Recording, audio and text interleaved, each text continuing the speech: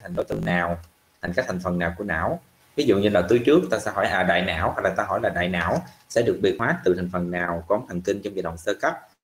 Thì lúc đó mình cũng phải biết.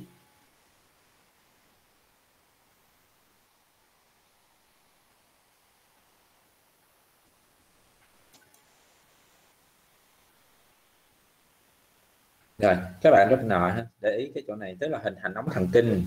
Cái giai đoạn hình thành nóng thần kinh ở đây các bạn sẽ thấy đây được hình thành ra từ nguồn gốc là ngoại bì. Các cái chữ ngoại bì này sẽ nhớ nè, tức là sẽ có một câu hỏi liên quan tới phần ngoại bì. Rồi sau khi mà hình thành được cái ống thần kinh, thì cái phần trên của ống thần kinh nó sẽ bị hóa thành não và phần dưới nó sẽ là tủy sống. Được ha? Vậy thì trong cái phần, cái tấm điểm thần kinh này, thì ở giữa nó sẽ là màu thần kinh. Thì khi mà cái màu thần kinh này nó sẽ co gần lại với nhau, nó sẽ hình thành nên máng thần kinh. Rồi cái máng thần kinh này á, thì từ từ nó sẽ xích lại với nhau và nó sẽ tách cái màu thần kinh ra đi qua ngoài hai bên. À, để hình thành lên được cái ống thần kinh. Đây đây là các cái giai đoạn từ ngày 19 20 22 và ngày 26 à, thì cái giai đoạn hình thành ống thần kinh này nó là sẽ kết thúc vào tuần lễ thứ tư. Lỗ trước nó sẽ bịch chính vào ngày 25 và lỗ sau sẽ là ngày 27 còn cái màu thần kinh nó tách qua hai bên nó sẽ bị hóa thành màng nhện màng nuôi xương sọ hạch rễ thần kinh sau và các tế bào sắc tố đây đây cái giai đoạn các cái giai đoạn về sơ cấp và thứ cấp. Các bạn để ý dùm anh các giai đoạn sơ cấp và thứ cấp. Các cái giai đoạn đây là hình thành nóng thần kinh. Sau khi mà hình thành nóng thần kinh xong á, thì nó sẽ hình thành trong giai đoạn sơ cấp. Đó là người ta được gọi cái giai đoạn này là giai đoạn này là ba túi. Cái giai đoạn tiếp theo nó sẽ là giai đoạn năm túi. Ha. giai đoạn ba túi ví dụ túi trước túi giữa và túi sau. Thì trong giai đoạn năm túi tiếp theo đây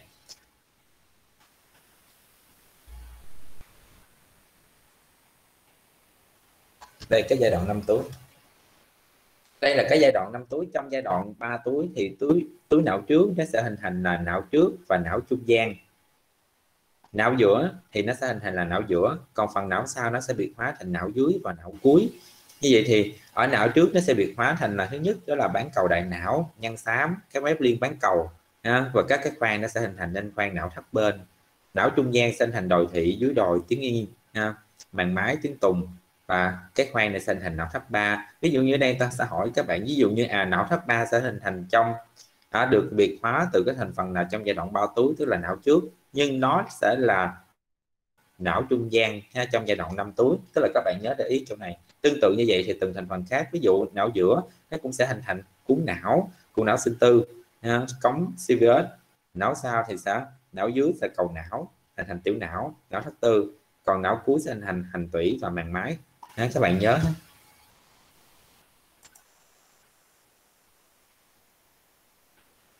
Yeah. đây đây là các cái giai đoạn trong cái hình thành ống thần kinh. Người ta sẽ mô tả cho mình đây là cái giai đoạn ba túi ha? Một tím màu hồng với màu xanh này Và xong sau đó nó sẽ việt hóa thành năm túi và từng thành phần này từng thành phần này sẽ hình thành ra các cái thành phần của não.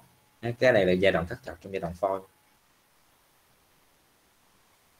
Rồi như vậy thì cái lúc này ở cái trung bì á tức là hồi nãy cái tấm thần kinh thì mình sẽ thấy uh, cái ống thần kinh nó được hình thành từ ngoại bì như thì còn cái phần trung bì nó sẽ hình thành ra là 42 đến 44 cặp đốt sống như vậy thì uh, các cái cặp đốt sống này nè tức là nửa hai nửa sau của cái cặp đốt sống ấy, nó sẽ di chuyển ra sau. Hai nửa sau này nè nó sẽ di chuyển ra sau để nó ôm cống thần kinh để nó bảo vệ cống thần kinh để bảo vệ cống thần kinh. Như vậy thì trong cái quá trình mà cái trung bì này nè hình thành cái cặp đốt sống mình nếu như hai nửa sau mình nó di chuyển không hoàn toàn và nó chính lại với nhau ha, thì nó sẽ dễ gây ra một cái dị tật chúng ta hay gặp trên lâm sàng. Đặc biệt là khi mà mình đi ở trẻ sơ sinh á thì mình sẽ thấy đó là dị tật đốt sống trẻ đôi ha hay là họ đốt sống. Rồi. Đó là cái giai đoạn về hình thành ống thần kinh. Giai đoạn thứ hai cái, cái giai đoạn là giai đoạn tăng sinh. Gì cái giai đoạn tăng sinh ở đây là mình nói về tăng sinh cái gì? Tăng sinh về tế bào thần kinh tăng sinh về tế bào thần kinh thì trong cái giai đoạn phôi cái tế bào thần kinh nó được hình thành từ cái vách não thất cái vách não thất thì sau khi mà cái tế bào thần kinh nó sẽ được nó được sinh ra từ cái vách não thất thì nó sẽ được di chuyển tới vỏ não. À, sẽ di chuyển với vỏ não. Thì cái thân vỏ não lúc này sẽ gồm có 6 lớp ở 6 vị trí khác nhau. Ở à, sáu vị trí khác nhau. À, Gì thì sau khi mà cái tế bào thần kinh nó ra được cái vỏ não nó sẽ sản xuất nó sẽ biệt hóa tiếp tục để hình thành nên được cái mạng lưới thần kinh. À, người ta tính rằng là cái trong giai đoạn tăng sinh này thì trung bình đó, nó khoảng là 250.000 tế bào thần kinh được sinh ra trong một phút. À, và cái thời gian trong giai đoạn tăng sinh này đa số sẽ là trong tam cái nguyệt thứ hai trong tam cái nguyệt thứ hai. Và cái tế bào thần kinh trong cái giai đoạn tăng sinh nó sẽ hoàn thành kết thúc vào ngày 108 nhớ ha ngày 108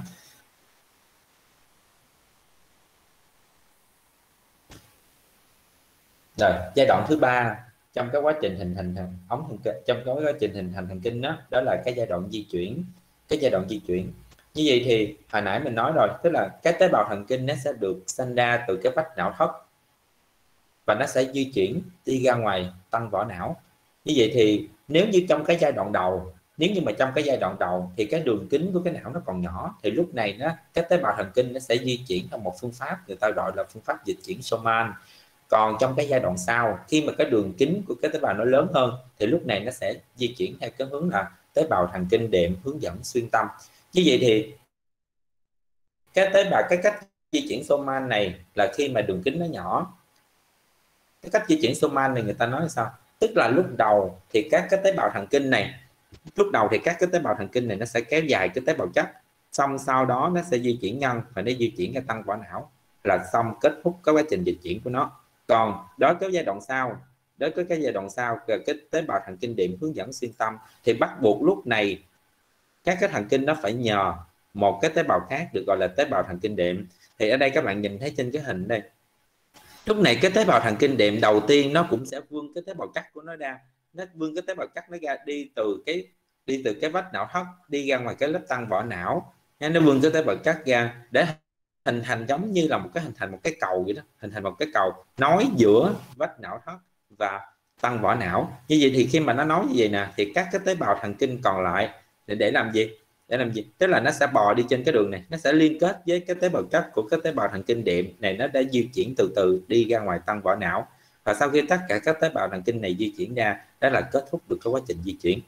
Ha. thì vậy thì chúng ta nhớ rằng nó sẽ có hai phương pháp di chuyển, đó là phương pháp di chuyển Soman và phương pháp di chuyển thần kinh điểm hướng dẫn xuyên tâm. Ngoài ra nó còn có những cái phương pháp uh, cái di chuyển khác mà gần đây người ta có cho người ta biết ví dụ như là tịnh tiến. Thì từ từ cái đó thì các bạn đọc sách thêm thì các bạn sẽ thấy. Giai đoạn tiếp theo đó là giai đoạn về biệt hóa. Sau khi cái tế bào thần kinh này ra ngoài tăng vào não rồi nó sẽ bắt đầu biệt hóa. Vì tế bào gốc thần kinh nó sẽ biệt hóa thành hai loại tế bào đó là tế bào thần kinh đệm và tế bào thần kinh. Tế bào thần kinh đệm này nó sẽ có hai loại đó là tế bào thần kinh điểm lớn và tế bào thần kinh điểm nhỏ. Thì, thì tế bào thần kinh điểm nhỏ nó sẽ dùng để loại bỏ những cái mảnh vỡ. Còn tế bào thần kinh điểm lớn nó sẽ biệt hóa ví dụ như là tế bào ít nhánh tế bào Schwann hoặc là tế bào hình sao như thì cái vai trò của từng tế bào này mình sẽ nhắc ở phía sau.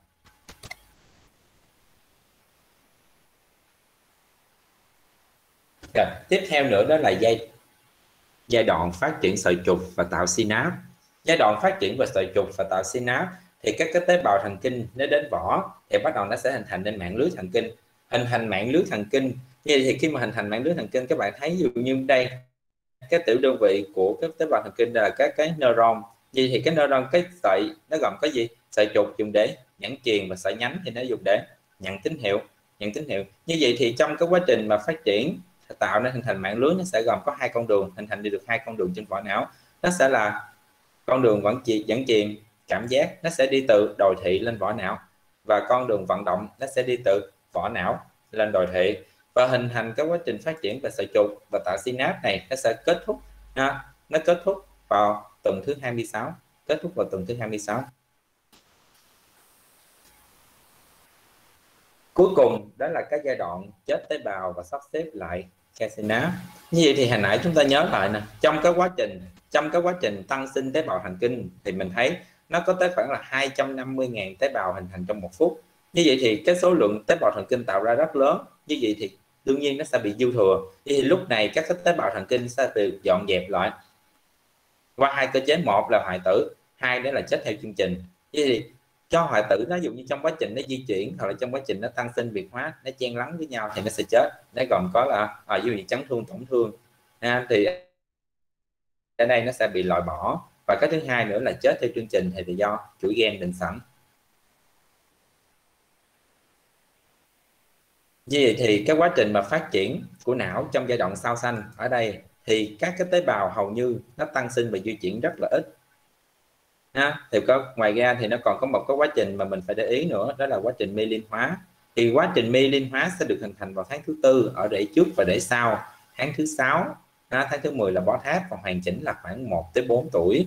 Như thì bình thường người ta sẽ lấy ở cái mốc là khoảng 2 tuổi để đánh giá về sự phát triển của trẻ.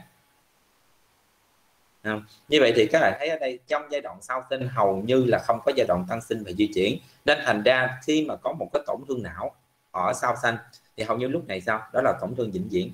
Nên nó không có hồi phục. Ví dụ như ở sơ sinh nếu như mà các bạn thấy có những đứa nó bị ngạt nó bị ngạt hoặc là ví dụ như thiếu oxy não thì lúc này sao? À, lúc này thì các cái tế bào thần kinh nó sẽ không có được tăng sinh lại. Rồi đó là cái giai đoạn về hình thành và phát triển của hệ thần kinh. À. Rồi đó là xong mục tiêu đầu tiên của mình rồi đó. Là mục tiêu hình thành và phát triển.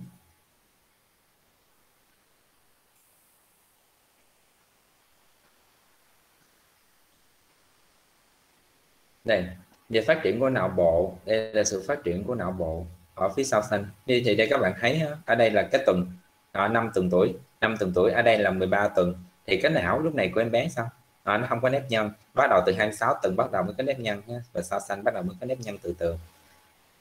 Như vậy thì à, tháng thứ ba thì nó sẽ nhẵn nè. Rồi nó, từ tháng thứ tư tháng thứ sáu thì nó sẽ hình thành được các rãnh và các thùy. Và một tới hai tuổi bắt đầu nó sẽ phát triển các rãnh nhiều hơn và nó sẽ chỉ hoàn chỉnh vào khoảng 22 tới 25 tuổi. Rồi, cái thứ hai đó là về đặc điểm về giải phẫu của hệ thần kinh. Đặc điểm về giải phẫu của hệ thần kinh. Các bạn thấy đặc điểm hệ giải phẫu của hệ thần kinh đây. Và cái tiểu đơn vị của hệ thần kinh nó sẽ là neuron. Neuron, như vậy thì ở ở trẻ em nó khoảng là 1.000 tỷ neuron. Thân thân neuron nó sẽ tập trung vào những nơi mà chúng ta sẽ thấy à, nó có à, màu xám ví dụ như là vỏ não nhân xám hoặc là chất xám. Còn đuôi gai và sợi trục nó sẽ hình thành là những cái dụ như là chất trắng synapse hoặc là dây thần kinh. Đó là đuôi gai và sợi trục. Hồi nãy mình nói rồi tức là các cái sợi nhánh ở đây thì dùng để nhận tín hiệu còn các sợi trục dùng để dẫn truyền. Thì một sợi trục nó có thể kết hợp được với nhau là nhiều cái sợi nhánh cái hình về dẫn truyền của neuron. Về thành phần của não về thành phần của não ở đây các bạn thấy các các bạn học cái hình này nó quen với giải phẫu của mình rồi. Nó sẽ giống tương tự ví dụ như là à, đại não nè. Đại não ha à, mình sẽ thấy phân qua hai bán cầu đại não rồi phân xuống ví dụ như là não trung gian cầu não hay là hành não thì nó sẽ xuống dưới. Thì mình sẽ đi qua từng thành phần một. Đầu tiên mình đi qua đó là bán cầu đại não. Vậy thì hồi nãy mình thấy trong cái cần đầu tiên cái quá trình phát triển của não sau xanh đó thì cái bán cầu đại não sơ sinh hầu như nó sẽ chưa được myelin hóa à, cái thứ hai nữa rảnh thì nó sẽ không có phát triển và nó sẽ tiếp tục phát triển ở trong những tháng tiếp theo. Và mạng lưới mạch máu ở trẻ sơ sinh thì sao? Nhiều và mỏng.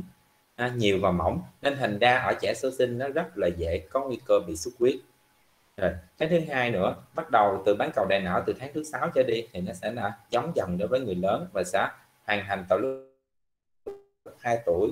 2 tuổi này thì thành phần hóa học của nó sẽ giống như ở người lớn nên thành ra đối với sự phát triển về trí não của trẻ em, hầu như chúng ta sẽ đánh giá ngay tổng mốc là 2 tuổi. À. rồi, bán cầu đại não chúng ta thấy nó sẽ được bảo vệ về các màng não và hệ thống. Đây là thiết đồ của não. Bán cầu đại não, trọng lượng trọng lượng. Ở sơ sinh nó khoảng là 370 gram tới 390 gram nha nó sẽ tương đương với khoảng 1 phần 8 đến 1 phần 9 cân nặng của trẻ nha. thì một đứa nó khoảng là nhiêu? Nó khoảng là 3 kg 3 kg rưỡi nha. thì nó khoảng là 1, 1 phần 8 đến 1 phần 9 cân nặng của trẻ. Cái thứ hai đó là từ 1 tuổi bắt đầu nó sẽ lên là khoảng 900 gram nha cân nặng nó là khoảng 900 gram nó khoảng là à, từ năm 9 tuổi tới năm 20 tuổi nó chỉ tăng 100 gram thôi. Và ở người lớn à, cỡ như mấy em thì à, cỡ như mình đó thì là khoảng là 1.400 gram nó khoảng là 1 phần 40 và 1 phần 50 như vậy thì các em thấy là bình thường đối với đặc điểm của một đứa sơ sinh mình sẽ thấy sao? Bình thường cái đầu nó sẽ to hơn so với bình thường ha. cái tỷ lệ đầu á, đầu với thân thể của nó sẽ to hơn bởi vì đây nè cái trọng lượng về cái não của nó sẽ cao hơn. Cái thứ hai nữa là về chu vi vòng đầu.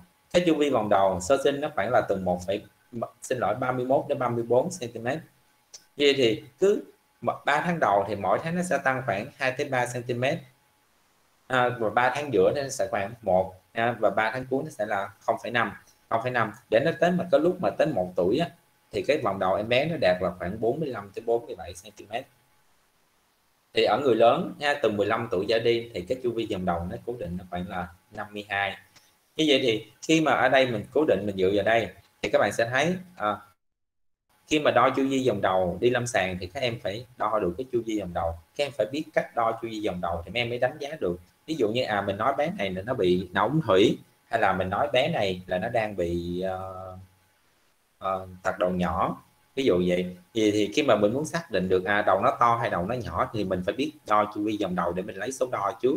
Thì từ cái số đo đó, đó bắt đầu mình mới so sánh với cái số đo bình thường của nó.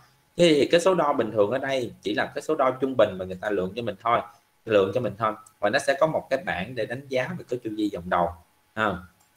rồi, cái giai đoạn thứ ba, về cái thứ ba nữa là cái giai đoạn myelin hóa hồi nãy mình nhắc rồi, cái myelin hóa đó là ở ngoại biên á, cái myelin hóa nó sẽ được bởi tế bào Schwann và cái, ở trung ương thì cái hiện tượng myelin hóa nó sẽ được thực hiện bởi tế bào ít đuôi gai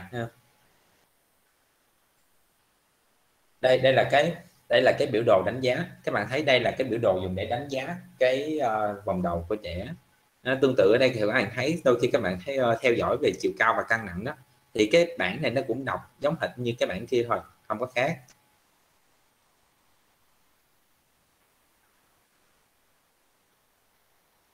Rồi. Bán cầu đại não của mình nó gồm cái vỏ não nó gồm có bao nhiêu? Bốn thùy nha có hồi có vùng và theo ông cái Rodman này nè ông chia ra hai cái bán cầu đại não ra làm 50 vùng. Và có cái tế bào thì gồm có cảm giác vận động và những cái tế bào trung gian.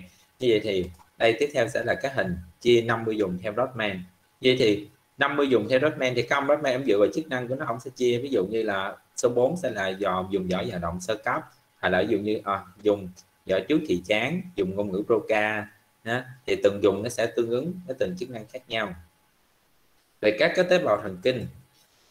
Các cái tế bào thần kinh các bạn thấy thì trên máy cầu đại não sẽ có hai cái vùng đó là vùng cảm giác và vùng vận động. Như thì khi mà mình nhìn ở trên đó à, khi mà một cái cơ trong ví dụ nhìn ở bên cảm giác đi à, cái cơ quan nào hoặc là bộ phận nào mình cảm giác nhiều thì cái phần đó nó sẽ chiếm nhiều tế bào hơn.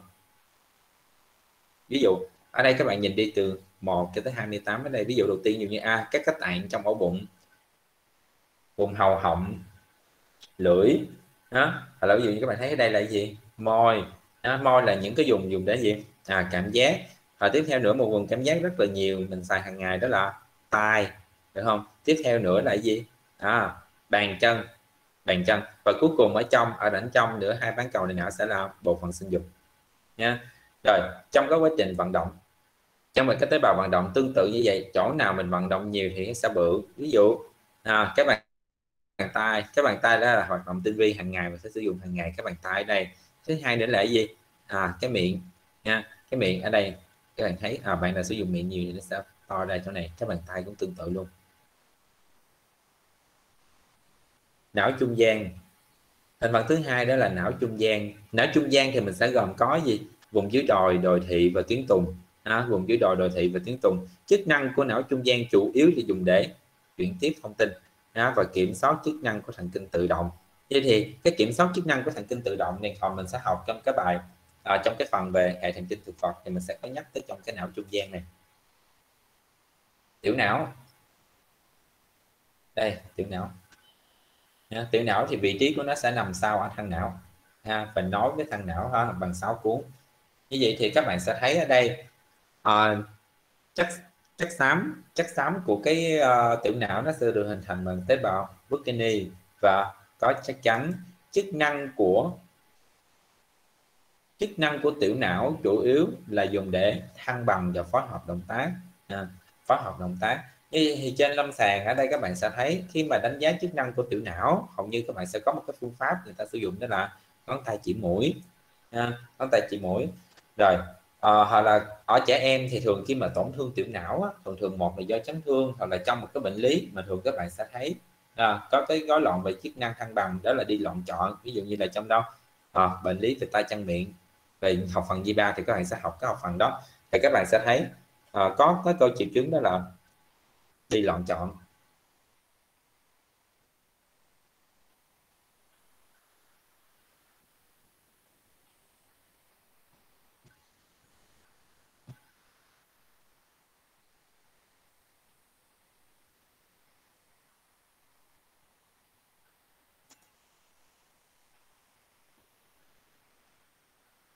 tiếp theo nữa là hành não. Hành não. Vậy thì hành não cái chỗ hành não này các bạn thấy quan trọng nhất. À, cái hành não. Hay quan trọng nhất sẽ là nó chứa cái trung tâm đặc biệt đó là cái trung tâm điều khiển về tim mạch và hô hấp. À, thì hành não thì các bạn học trong các sinh lý à, xin lỗi giải phẫu các bạn đã biết rồi. Nó nói tủy sống nha với học sọ. Và cái hành não thì nó sẽ nằm ngay sát trong cái lỗ chẩm nên thành ra đối với cái ờ, mà bệnh nhân mà bị tuột não thì đương nhiên người ta sợ nó sẽ bị kẹt ở cái hành não sẽ ảnh hưởng đến trung tâm tim mạch và hô hấp. À, nên thành ra đối với trên lâm sàng rất là sợ các các bệnh nhân bị tuột não. À. chức năng của hành não là dùng để trung tâm phản xạ đặc biệt là hô hấp tim mạch. Cái thứ hai dùng để dẫn truyền và thứ ba nữa sẽ là điều hòa trương lực. Rồi trên đại não nó sẽ có hệ thống não thất và dịch não tủy hệ thống não thất thì dịch não tủy rồi là sẽ thấy bây giờ đầu tiên mình sẽ nói về hệ thống não thất trước. Hệ thống não thất trước. Bây giờ mình sẽ thấy ở đây hệ thống não thất của mình sẽ có gì? Thứ nhất là não thất bên. Tiếp theo nữa nó sẽ là não thất bà, não thất bà. tiếp theo nữa sẽ là não thất từ đó là hệ thống não thất như vậy thì đầu tiên dịch não tủy nó sẽ được hình thành từ đám rối mạch mạc. Hình thành từ đám rối mạch mạc. Thì sau khi dịch não tủy được hình thành từ đám rối mạch mạc nó sẽ được đổ vào não thất bên. Nó sẽ được đổ vào não thất bên. Thì sau khi mà nó đổ vào não thất bên rồi thì nó sẽ di chuyển qua não thất ba qua một cái lỗ người ta được gọi là lỗ Monro đây đây được gọi là lỗ Monro vậy thì khi mình hình thành tới lỗ Monro rồi, nó sẽ xuống não thất ba. Vậy thì từ cái não thất ba này, cái dịch não tủy nó sẽ tiếp tục di chuyển xuống não thất tư qua được cái là cái khe CVS là cái khe hẹp nhất của cống não nha hay là gọi là cống não đó, nó sẽ khe hẹp nhất. Rồi từ cái não thất tư này ha, từ cái não thất tư này thì dịch não tủy tiếp tục để di chuyển. Tiếp tục di chuyển ha, ra ra ngoài để tiếp tục tái hấp thu vào hệ thống tuần hoàn. Như vậy thì trên lâm sàng mình sẽ thấy ví dụ như mình sẽ đọc được cái siêu âm siêu âm não uh, siêu âm xuyên khớp đó các bạn sẽ thấy à người ta ví dụ như người ta nói là uh, ví dụ như người ta sẽ nói là uh, giãn não thất bên hai bên ví dụ vậy thế là cái bạn đọc sẽ có cái kết quả siêu âm về cho các bạn. Thấy là à giãn não thất bên hai bên tức là lúc này mình sẽ hiểu sao? À, cái đánh giá về cái não thất ba là bình thường thì lúc này sao? À, cái mình sẽ biết nó sẽ bị tắt ngay cái lỗ Monro ha. hoặc là trong một cái bệnh lý trên lâm sàng các bạn hay thấy đó là bệnh não ống thủy. Thì cái bệnh não ống thủy hầu như người ta thấy là trường hợp này nó sẽ bị tắt ở KCVS thì được gọi là cống não. Rồi đó là cái giai đoạn bị di, di chuyển của dịch não tủy rồi ngoài ra thì các thành phần của dịch não tủy các bạn phải để ý. Thì thành phần của dịch não tủy á, ở sơ sinh thì nó khoảng 60 ml à, 60 ml à, và có màu vàng. Thành phần à, thành phần thì cái protein ở sơ sinh nó sẽ cao hơn so với bình thường. Các bạn nhớ ha protein ở sơ sinh nó sẽ cao hơn so với bình thường. Nên bởi vì thành ra các bạn thấy các cái kết quả mà dịch não tủy ở trẻ sơ sinh á khi mà mình đọc cái phần về kết quả dịch não tủy các bạn thấy thường băng đi nó sẽ dương tính. Bởi vì sao? À, bởi vì cái protein nó cao hơn nên thành ra cái phản ứng băng đi nó sẽ dương. À, rồi cái số lượng về bạch cầu. Bạch cầu ở sơ sinh người ta chấp nhận cho là từ 50 bạch cầu. À, đối với những cái trẻ non tháng như vậy hầu như đối với trẻ non tháng khi phân tích dịch não tủy mà nếu như có từ 50 bạch cầu à, có khả năng nó chỉ là bình thường thôi. Hoặc là ví dụ như từ 30 bạch cầu à, ở trẻ đủ tháng và ở trẻ lớn thì cái số lượng bạch cầu trong dịch não tủy hầu như người ta chỉ chấp nhận phải dưới 5 con. À, các bạn nhớ. Đó là về cái thành phần của dịch não tủy rồi tiếp theo nữa là sẽ là tủy sống. Tiếp theo nữa sẽ là tủy sống. Như vậy thì trong cái tủy sống á, các bạn sẽ thấy trọng lượng. Trọng lượng của cái tủy sống nó sẽ từ 2 2 đến 6 gram ở sơ sinh ha. 5 tuổi bắt đầu nó sẽ tăng dần. 5 tuổi nó sẽ bắt đầu tăng dần và 14 15 tuổi bắt đầu nó sẽ gấp 5 lần.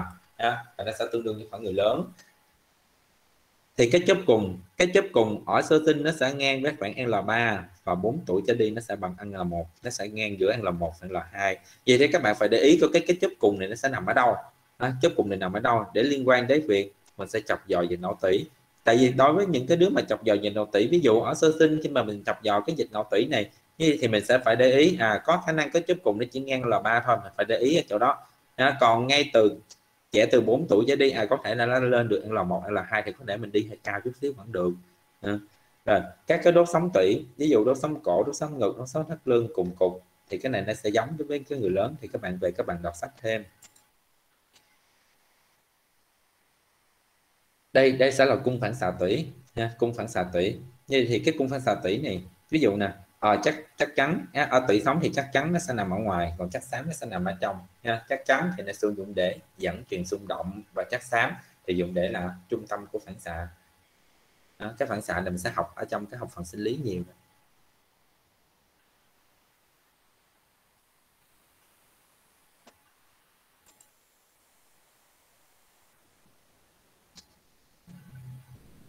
Anh nói có bị nhanh quá không mấy bạn ơi?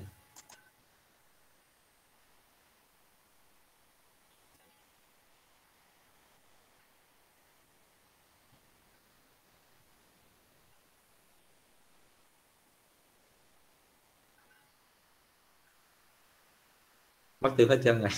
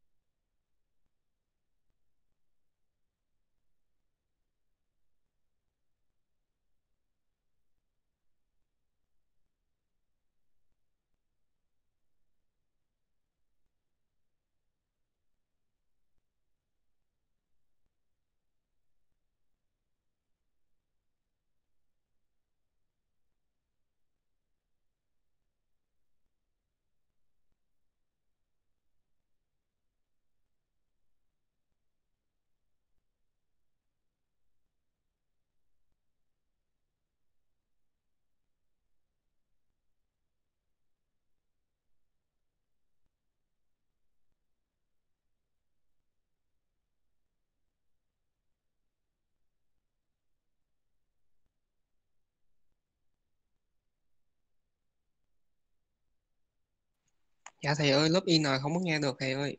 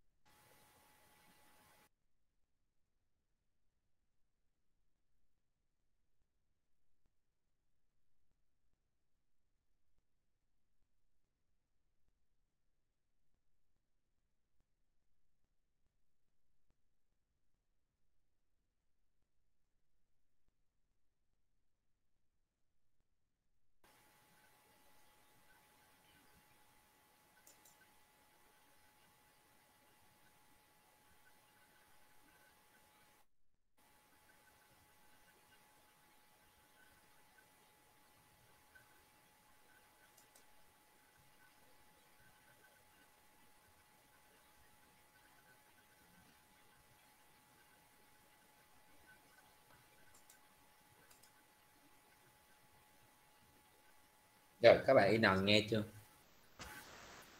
Dạ nghe thầy. Em cảm ơn thầy. Rồi. Nãy là thì nào chắc nghe cái trò hệ phó giao cảm đúng không?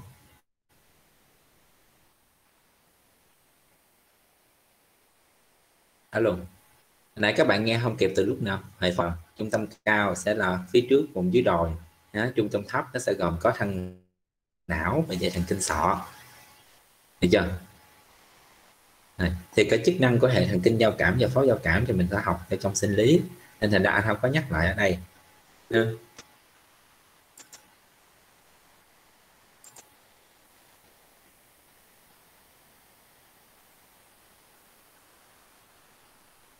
rồi bắt đầu tới mục tiêu thứ ba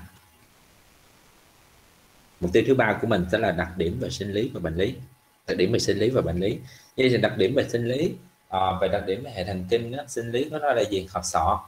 Hộp sọ thì nó cứng ha tính chất của nó cứng để bảo vệ não và nó mềm dùng để nghi với chuyển động.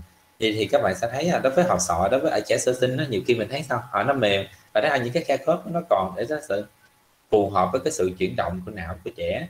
Thứ hai nữa đó là liều tiểu não. Liều tiểu não nó sẽ chia phần trên liều và dưới liều và cái liều tiểu não nó sẽ giúp cho mình làm gì? Cố định và người di lệch. Ha. và chuyển hóa chuyển hóa tức là cái chuyển hóa của não nó sẽ cao điều để tăng trọng khối lượng não. Và thần kinh thì chưa việc hóa hết nên thành ra nó sẽ có phản ứng lan tỏa. Ở trẻ em hầu như lan tỏa của hệ thần kinh. Đôi khi có hiện tượng mê linh hóa nó chưa mê linh hóa nên thành ra nó mỗi lần mà em bé nó có một cái điểm gì đó ha à, nó phát xung điện lên hầu như nó sẽ kích thích ra toàn toàn cái vỏ não luôn nên trên bệnh lý à, dựa vào đặc điểm này các bạn sẽ thấy trên lâm sàng mình có cái bệnh các bạn hay gặp đó là sốt cao co giật. Đó là cái bệnh lý sốt cao co giật. Tại sao? Sốt cao co giật đối với những cái trẻ mà hầu như không xuất hiện ở trẻ trên 6 tuổi à, đối với những cái co giật mà trên 6 tuổi các bạn chẳng đoán là sốt cao co giật thì các bạn bị sai à, bởi vì đây nó sẽ liên quan tới cái đặc điểm cái hệ thần kinh của nó.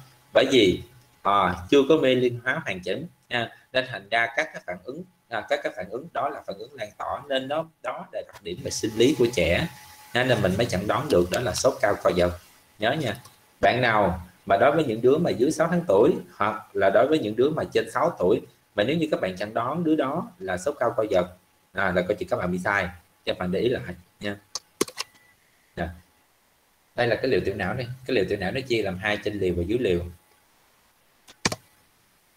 Nè. tiếp theo nữa các bạn sẽ thấy ở giai đoạn gì? Trẻ sơ sinh. Mỗi ngày ở sơ sinh nó sẽ ngủ khoảng 20 đến 22 giờ. Hầu như các bạn đã thấy các bạn khám sơ sinh lúc nào nó cũng sẽ ngủ thôi. Và em bé nó chỉ thức cho những cái tình trạng là em bé nó sẽ uh, thức để làm gì? Uh, để bú hoặc là dù dụ như em bé là gì? Uh, cần cần phải thay tả nó ị. Thì lúc đó bắt đầu mình mới nó mới thức thôi. Và hầu như còn lại nó sẽ ngủ. Bởi vì sao? À, cái tính chất hưng phấn thần kinh của nó yếu. Cái thứ hai nữa à, nếu như chỉ cần ngoại cảnh nó có kích thích thì lúc này em bé nó sẽ chuyển qua một cái giai đoạn được gọi là ức chế bảo vệ. Dạ. cái vỏ não và thể văn của nó sẽ chưa phát triển nên thành ra mình sẽ thấy các hoạt động vỏ dưới vỏ nó sẽ chiếm ưu thế. À, ở sơ sinh các bạn sẽ thấy nó sẽ còn nhiều những cái phản xạ nguyên phát. Các bạn khi mà các bạn đi học các đặc đặc điểm về của khám và lâm sàng của trẻ sơ sinh á, thì trong cái đó các bạn sẽ có một cái phần được gọi là khám các phản xạ nguyên phát. Thì đây đó là do cái tình trạng gì? À, hoạt động dưới vỏ. Hoạt động ví dụ như là múa vòn nha hoạt động tay chân nhiều hành tỷ và thần kinh ngoại biên được mi liên hóa thì bắt đầu phản xạ bú nhìn cố định một nhìn cố định vào một điểm. Rồi mi liên hóa não và nhân sấm trung mương. À, các bạn sẽ thấy kỹ năng vận động của tay nó sẽ sớm hơn chân. Dưới 2 tuổi mi liên hóa chưa hoàn chỉnh nên sẽ có hiện tượng Babinski dương tính sinh lý. À, sẽ có hiện tượng Babinski dương tính sinh lý. Ở đây sẽ có có câu hỏi anh nhớ đặt rồi có cho thi đó. tức là ở đây các bạn thấy nè người ta sẽ hỏi là à, tại sao trẻ nhỏ dưới 2 tuổi hầu như sẽ có hiện tượng Babinski dương tính? Nha. Hoặc là ví dụ như Babinski dương tính là trẻ dưới 2 tuổi xác định điều gì? Ví dụ vậy. Ở đây sẽ có câu hỏi cho các bạn. Đây là hiện tượng Babinski khám Babinski. Tiếp theo nữa là về đặc điểm về điện não cái sóng điện não. Sóng điện não. Sóng điện não bắt đầu nó sẽ di chuyển thứ nhất trong giai đoạn ở giai đoạn nhỏ giai đoạn sơ sinh sau khi mới sanh đó thì hầu như hoạt động điện cái hoạt động điện của não chủ yếu nó sẽ tập trung vào những cái sóng chậm đặc biệt đó là sóng delta thì nó khoảng chu kỳ nó khoảng là 0,5 đến 5 chu kỳ trên giây thôi à, và cái tần số nó khoảng là 20 đến 50 microvolt. Từ một tháng bắt đầu ra khỏi trong giai đoạn sơ sinh đến giai đoạn nhũ nhi một tháng một tuổi thì bắt đầu sao à nó sẽ có xuất hiện thêm cái sóng theta thêm cái sóng theta ở vùng chậm và từ một tuổi tới 3 tuổi thì hoàn toàn chủ yếu sẽ là sóng theta. Và sau 4 tuổi ha, sau 4 tuổi bắt đầu nó sẽ có hiện tượng là có xuất hiện của sóng beta và sóng alpha. Như vậy thì ví dụ như người ta sẽ hỏi các bạn a à, điện não điện não của trẻ từ 1 tới 3 tuổi à, sóng nào chiếm ưu thế? Ví dụ như ta sẽ cho là alpha beta delta hoặc theta thì mình sẽ chọn là theta. Hãy nhớ ha hoặc là trong giai đoạn sơ sinh điện não của nó chủ yếu sẽ là delta à, bắt đầu từ sau bao nhiêu tuổi thì bắt đầu mới có xuất hiện sóng beta và alpha trên điện não ở trẻ em. Thì bắt đầu mình phải chọn là 4 tuổi. Các bạn nhớ ha. Đây đây là cái giai đoạn về sóng điện não ở sơ sinh. Sóng điện não ở sơ sinh hầu như nó sẽ phụ thuộc vào trong cái tuần tuổi thai. Trong cái tuần tuổi thai ví dụ nè 24 29 tuần 30 34 tuần ha. Từng cái nó sẽ khác nhau trong giai đoạn thức nè ngủ nè ha. đây các bạn sẽ thấy. Ở đây các bạn tham khảo thôi chứ cái này anh sẽ không có hỏi các bạn. Tương tự như thế này. À, cái này dùng để làm gì? Để phân những cái sóng với nhau. Ví dụ như à, sóng theta đây sóng theta chu kỳ của nó khoảng là 3 đến 7 hạn đây, delta. Delta là những cái sóng cực trọng.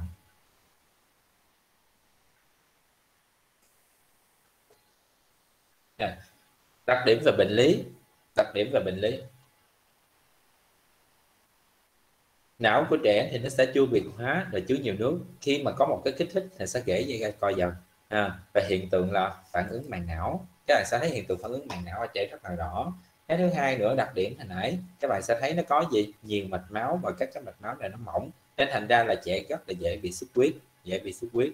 À, vấn đề về não ví dụ như là liên quan tới à, các rối loạn về thần kinh hoặc là ví dụ như là các cái triệu chứng về tháp hoặc là ngoại tháp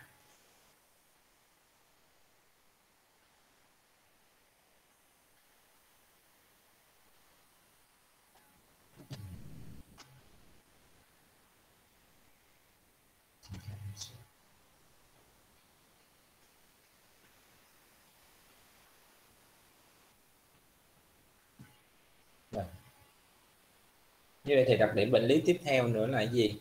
Ví dụ như à, chấn động nhỏ sẽ gây ra liệt ở nửa người có tổn thương nhiều là hồi hải mã cách nhăn hai bán cầu thuộc thần kinh. Ống điện não thì nó sẽ không phù hợp đó là bất thường. Rồi. rồi đó là xong được cái bài về đặc điểm của hệ thần kinh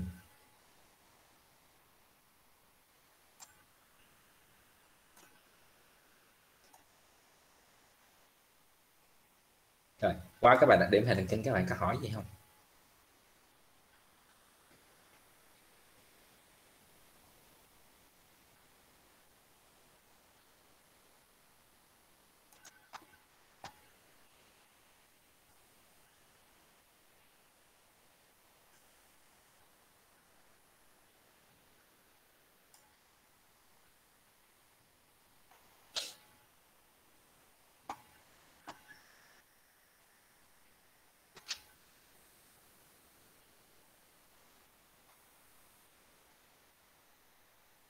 rồi nếu như các bạn không có hỏi gì nữa, anh sẽ chuyển qua cho các bạn cái phần thứ hai.